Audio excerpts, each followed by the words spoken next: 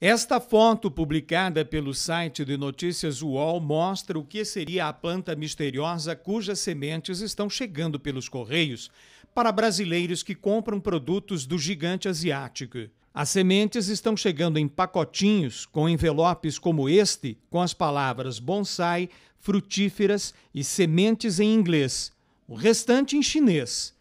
Aqui na natureza, espécies exóticas invasoras representam uma das maiores ameaças ao meio ambiente, com enormes prejuízos à economia, à biodiversidade e aos ecossistemas naturais aqui do Brasil, além de riscos à saúde humana. Autoridades fazem um alerta por conta do perigo que as aparentemente ingênuas sementinhas representam para o Brasil.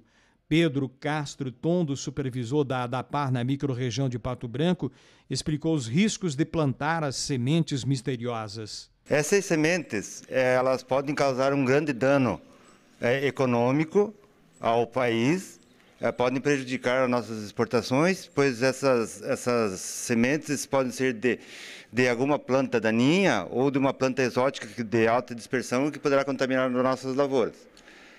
Além do mais, ela poderá ser uma transportadora de patógenos é, não existentes no Brasil e que também poderão se disseminar causando, causando grande impacto econômico. Ou seja, se for uma praga ou alguma doença ou uma planta daninha, o agricultor terá um custo maior, pois terá ah, várias aplicações a mais de agrotóxicos para controlar essa praga ou essa doença.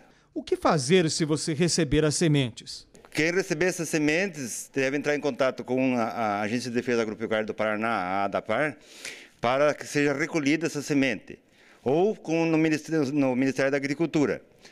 Essas sementes, em hipótese alguma, devem ser plantadas, em hipótese alguma, devem ser descartadas no lixo,